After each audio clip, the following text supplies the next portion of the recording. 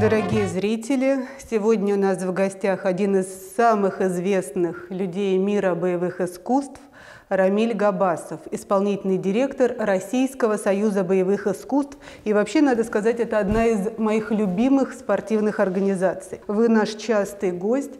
Вот когда родитель смотрит на своего мальчика, ну или девочку, и думает, а не привести ли его в секцию какую-то, и вот что вы ему скажете? Как э, посмотреть на ребенка с точки зрения единоборств? Куда его вести? Во сколько лет? С какими идеями родитель, папа или мама должен привести ребенка в секцию?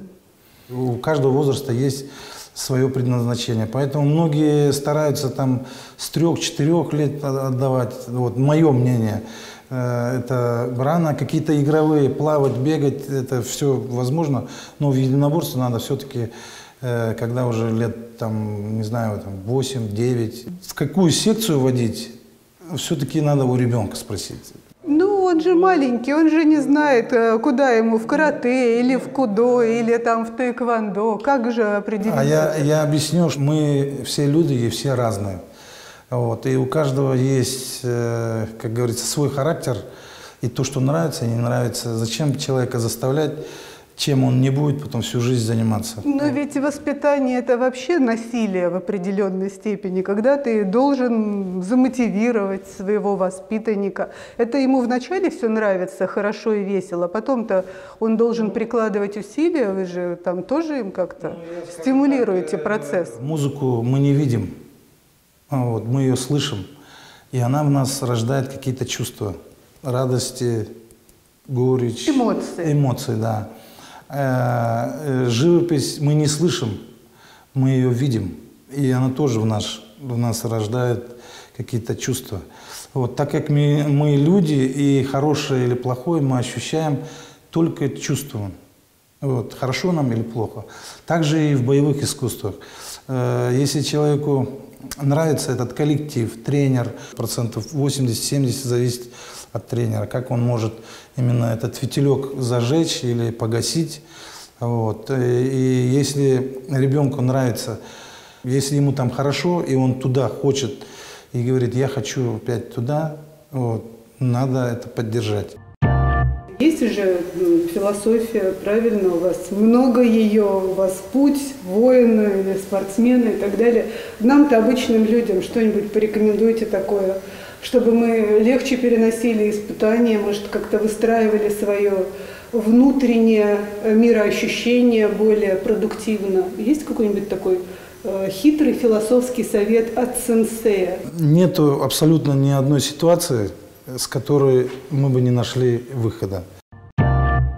А бывает у вас, э, приводят парня, и прям вот видно, что он прирожденный боец? Или вы, может быть, специально образом э, отбираете тех, кто более такой ну, шустрый, уже, хулиганистый? Э, нет. Э, Или тихих, тихих селек... мол, нам не надо? Селекция, нет, селекция, она, она проходит как и, и в жизни, вот, так же и в секции. Бывают, знаете, такие есть... Э, с рождения талантливые, у которых быстро все получается. Вот он начал делать, и он с секцией самый лучший. Но, как правило, э, вот по моему опыту, э, такие ребята долго не задерживаются, потому что им становится это неинтересно. А попадать такие, ну, немножко у них трудно получается. Трудяги. Да, вот э, эти, они вырастают э, уже такими мастерами, Потому что они понимают, что э, чтобы что-то сделать, надо трудиться. А у вас как было? Ну, ну примерно тоже так же. То есть не, не, все сразу, не все сразу. Не все сразу. Но у вас есть пора... любимый удар, а есть то, что вот вы прям думаете, да что ж такое, когда же? Ну, то есть какой-то определенный период времени Ну, здесь, получал. Э, если рядом есть такой человек, который может тебя поправить, вот, и который, наверное, э, в первую очередь объяснит, чтобы добиться чего-то, вот, много будет неудач. Э, и если ты э, готов преодолеть их. Тогда ты будешь чемпионом. РСБИ проводит несколько крупных мероприятий э, такого всероссийского международного масштаба. Одно из самых знаковых – это битва чемпионов. Вот буквально на днях она была э, в очередной раз, и, слава богу, коронавирус не помешал. Э, вы меня приглашали в прошлом году, я была первый раз на битве чемпионов, и я удивилась разнообразию э, единоборств, и меня некоторые действительно поразили. И вот, например, Ушу Саньда. Жесткая штука, честно говоря, я не ожидала. И наш спортсмен э, победил титулованного китайца, ну просто вот взял и вырубил, вынес просто. У меня вопрос, как так получается, что ушу Саньда за какие-то 15 лет, которые оно развивается в России, может быть даже меньше, мы достигаем каких-то невероятных высот и бьем э, в прямом смысле основателей, а есть виды спорта, наши любимые игровые, где мы всей страной болеем, и не получается. Почему так? В каждой семье э, родители заинтересованы, чтобы если это мальчик или парень, мужчина, он должен обязательно какими-то боевыми искусствами э, Защитник? Да, защитник. А у нас э, это обязательно. Ну где мы и где Ушу Саньда? Но почему не Ушу Саньда мы первые, а, например, в футболе мы ну далеко не первые? Ну что это такое? Э, эти виды, скажем так, не зародились там 10 лет, 15 лет. У них есть большая история, как и у нас в стране боевые искусства, национальные виды. Вот, они тоже имеют э, очень большую историю, и они, самое главное, живут в народе. А вот живут ли они в народе, или все-таки это такое немножко искусственное образование, когда мы подтягиваем э, борьбу за вороток, русские рукопашные бои, ну и, скажем так, реставрируем их. Это надо вообще делать? Конечно, конечно те народные традиции, которые заложены нашими предками, э, это, это живет в народе. Вы знаете, вот, э, к примеру, э, праздники проводят в разных республиках по национальным видам, да, и если так вот посмотреть, сказать, что эти виды, там, они уже в наше время они не нужны. Но вот... С прикладной точки зрения, наверное, да. Да, но э, это по всему миру, э, какая бы ни была национальность, но те виды, которые живут в народе, они должны быть, потому что это традиции. Ну, могу даже сказать, как директор Государственного э, музея спорта, в ЮНЕСКО Э, объектом сохранения может быть нематериальная культурная традиция. То есть, в принципе, игра или единоборство это может быть э, нематериальной культурной ценностью э, своего народа. Так что, наверное, да, здесь надо сохранять, реставрировать, нежно это любить и показывать в конце концов выигрывают, и это главное. Скажите, пожалуйста, как проходит вот в этот весь коронавирусный наш э, високосный год э, единоборства? Вы занимаетесь, соревнуетесь, выступаете, какие ограничения, какие вообще перспективы и планы? Когда это все мракобесие закончится, и мы выйдем к светлому будущему, это все понятно. Но насколько это все помешало? Или все-таки можно жить и вот в таком формате? Мы даже в этот период э, организовывали э, онлайн-трансляции, вот, провели даже конференцию онлайн.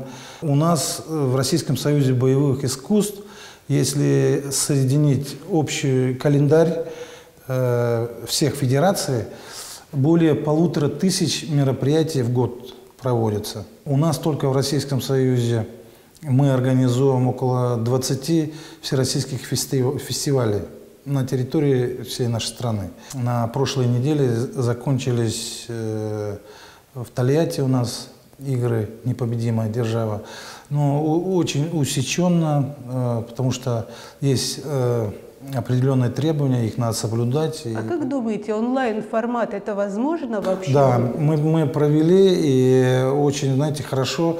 У нас даже э, многие мастера э, зарубежные принимали участие, тоже делились своим опытом, показывали. Мы даже несколько таких схваток провели по разным федерациям То есть, в принципе, технически это может, э, может иметь место, когда Да, в технически разных... это может. Я думаю, этот формат мы будем продолжать. Это о- очень удобно в том плане, чтобы сейчас много стран закрыто, и перелеты, эти переезды, э, они невозможны. А вы вообще верите в тренировку онлайн? Конечно, конечно, конечно. Много э, тренеров практикуют э, онлайн-тренировки, там раз в неделю, два раза в То неделю. есть единоборства приспосабливаются к современным Да, условиям? я думаю, не, не только единоборство, но и другие виды. э, Синхронное плавание, например. На спине, да. Ну, будем надеяться, что все скоро это закончится. И вот, э, раз уж мы заговорили о разных регионах и планах, и перспективах, хотелось бы к нашей родной Ульяновской области немножко поближе передвинуться. Мы один из опорных регионов РСБИ. Э, Проводим много мероприятий, у нас сильные федерации э, есть, показывают хорошие результаты. И в ближайшее будущее мы также надеемся, что РСБИ будет уделять Ульяновской области пристальное внимание, как э, главная центральная организация. Похвалите нас, да, что ли? Да, я скажу, что э, Ульяновск, э, наверное, на каждом нашем мероприятии вот битвы чемпионов э, всегда какой-то спортсмен какого-то вида э, боевых искусств обязательно принимает участие. Но хочу сказать, что как филиал э, он один из э, лучших. Дело в том, что каждый год мы проводим и э, конкурс и отбираем 10 лучших филиалов. И на протяжении вот этих лет э, Ульяновский филиал является лучшим. Вот в эту десятку входит. Дело в том, что э, любое начинание с нашей стороны или инициатива с их стороны э, всегда мы поддерживаем, э, и они, э, скаж- скажем так, э, и федерации, и э, спортсмены, ребята очень активно принимают участие. И мы проводили э, в прошлом году первые всемирные э, игры Тафиса вот, по боевым искусствам. Да. это было большое событие. И вы знаете, я с гордостью хочу сказать, что наши единоборцы, они не только отличные спортсмены, но еще и социально ответственные граждане. Э, Сейчас вообще такой большой федеральный тренд на социальную ответственность, когда если ты можешь помочь, э, ты помогаешь. И вот как раз э, наши единоборцы, они такие в этом смысле очень активны. Э, Не так давно у нас была большая акция донорства, сдавали кровь, потому что в связи с коронавирусом сильно упал приток доноров, и донорской крови не хватало. Так вот, мы собрали 230 литров крови, и надо сказать, что среди этой крови большая ее часть была как раз единоборцев. Это ну, здорово, что, э, возможно, то уважение, которое воспитывается внутри э, федерации представителей боевых искусств, оно идет дальше и, э, скажем так, для общества играет вот такую большую роль и ценность. И я знаю, что РСБИ, Российский союз боевых искусств, вообще очень много внимания уделяет благотворительности и разным социальным акциям. Можете чуть-чуть об этом? Да, мы в этом году э, выиграли грант Министерства физической культуры и спорта э, и 45 регионам раздали ковры. Вот. И я думаю, что мы каждый год будем принимать вот, в таких грантах э, участие и будем отправлять, передавать через наши филиалы вот, секциям, школам, вот, в том числе и в этом году вот мы передали э, В Ульяновскую область, да, мы были одним из первых, кто получили ковер. Спасибо вам большое. и со своей стороны э, и готовы, если в каких-то регионах э, бывают такие случаи, что э, нет какого-то вида, э, какого-то тренера для развития. Но, по, если сказать по Ульяновске, у нас, наверное, представители всех федераций присутствуют. Вы знаете, мне кажется, сейчас время еще такое для повышения квалификации, потому что тренерские кадры, безусловно, нуждаются в совершенствовании, ну, как и все остальные тоже. И вот э, в это такое смутное коронавирусное время на э, первый план выходят возможности как раз поучиться пока вот суть до дела, пока возможности э, не в полном объеме мы можем свои реализовывать спортивные, э, вот э, тоже, я думаю, надо нам с вами подумать и в следующем году усилить как-то работу по повышению квалификации среди тренерских кадров. Это вполне себе своевременно будет. Да, у нас многими учебными заведениями есть такие договора, где мы централизованно собираем по разным видам. И э, также и в Ульяновской области вот, э, сборы. И когда сборы проводятся, вот, ну, к примеру, даже мастер-класс э, по кикбоксингу и проводили мы в Ульяновске в рамках фестиваля Тафиса.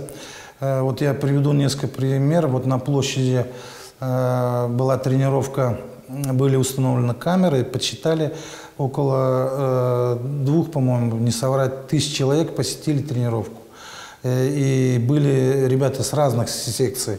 А Григорий Дрозд, вот я знаю, он даже ездил в районы, проводил мастер-классы по... Да, это была большая история. Мы с Григорием приехали в сельскую школу. Это удаленное достаточно село, Крестово городище э, Чердаклинского района. И вот Григорий Дрозд туда десантировался. И, конечно, это было такое, ну, для детей невероятное событие, когда чемпион мира, очень известный спортсмен, приезжает для них проводить мастер-классы. Он так все серьезно, с большим уважением к этим детям, которые, конечно, ничего не умеют, но тем не менее, мне кажется, после этого они там пополнили ряды единоборцев. Знаете, и самое главное, что в этой беседе после тренировки или там мастер-класса э, чемпион мира э, рассказывает э, о своем детстве, что он также начинал в деревне или там... В маленьком вот, городке. Да, в маленьком городке и стал э, вот, чемпионом мира и вот, ну, такой социальный лифт. Вот, и вот он окончил университет, институт, сейчас вот такие возможности. И, конечно, это хороший путь для любого э, мальчика или девочки, который начинает заниматься э, ну, любым, любым видом спорта, не только боевым. А так ли это важно для единоборца, ну, например, Ульяновского, стремиться тренироваться в Москве и переезжать в другой регион? Абсолютно нет, э, наверное, э, такой надобности. Дело в том, что те э, люди, которые преподают там какие-то боевые искусства, они очень высокого уровня. Все, вот даже возьмем, ну, у нас олимпийские чемпионы мира, они все с регионов. Дело в том, что э, эти мастера там есть, и они передают свой опыт.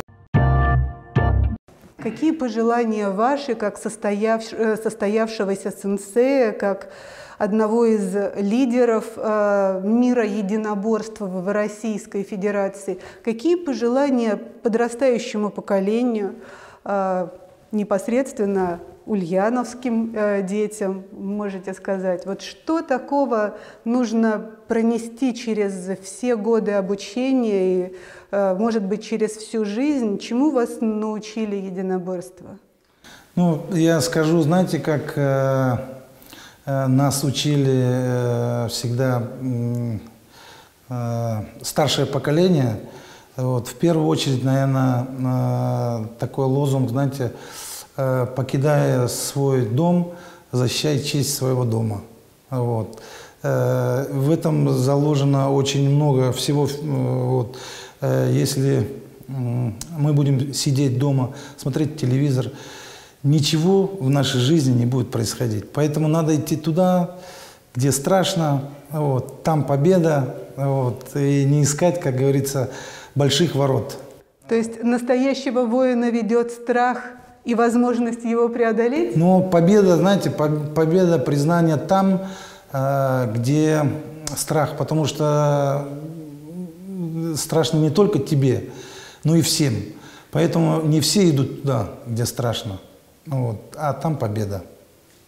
Спасибо большое, уважаемые друзья, дорогие зрители. С нами был один из самых титулованных э, спортивных деятелей нашей страны и мира единоборств Рамиль Габасов.